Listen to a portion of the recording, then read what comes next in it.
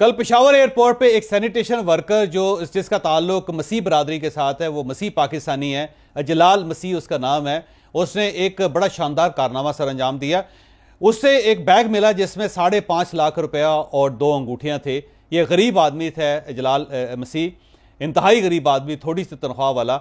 तो इसे जब बैग मिला तो इसके पास ये अपॉर्चुनिटी थी कि उस बैग को गायब कर देता और एक ही रात में लाखपति हो जाता, लेकिन इस शख्स के ईमान ने इसे इजाज़त ही दी और इसने ये बैग वापस कर दिया। ये जब बैग वापस किया गया तो ये एक हैरान कन वाक़ था कि गरीब आदमी जब ईमानदार होता है तो उसका दिल कितना बड़ा होता है। तो कल इसे सनत भी दी गई, इसे अप्रिशिएट भी किया गया। मैं इस वी लॉ के ज़रिए शख्स को अप्रिशिएट करता हूँ। मैं ये कहता हूँ कि असली पाकिस्तानी आप हैं।